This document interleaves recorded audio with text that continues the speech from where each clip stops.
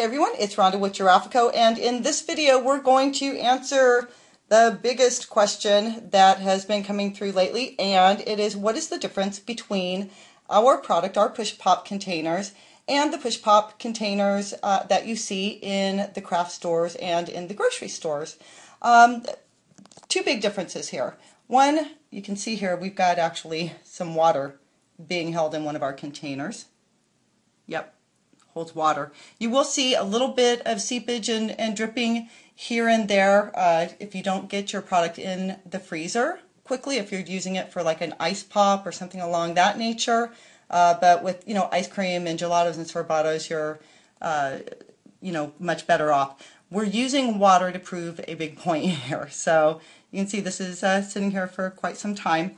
And um, the reason why our product holds liquids is because at the bottom of our tubes and also our bases. They are solid and our bases fit snugly into the tubes. And this is our, uh, we have rounds and we also have our square push pop containers. And so we want to go over here and show you what you find in the craft stores.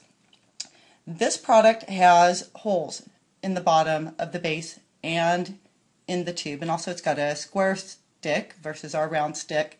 The lid on this product um, has an indent in it, and this is so you can use it as a stand, but you won't be able to put your cap on top of your uh, creations, and especially if you wanted to create something with a taller embellishment. You can see here our caps are tall lids, and they're flat on the top, okay?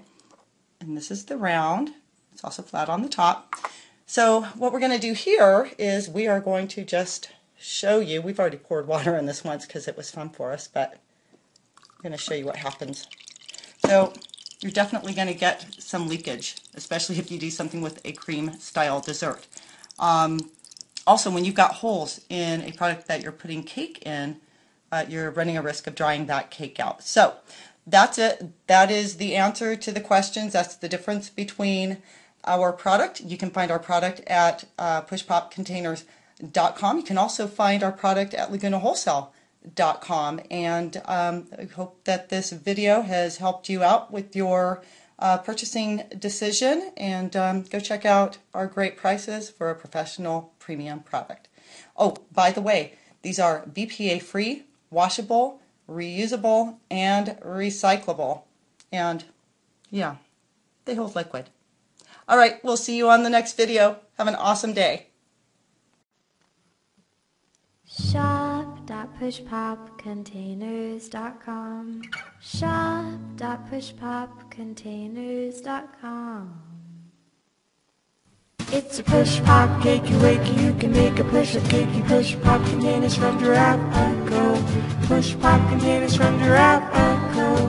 Push pop containers from Giarraffa Co.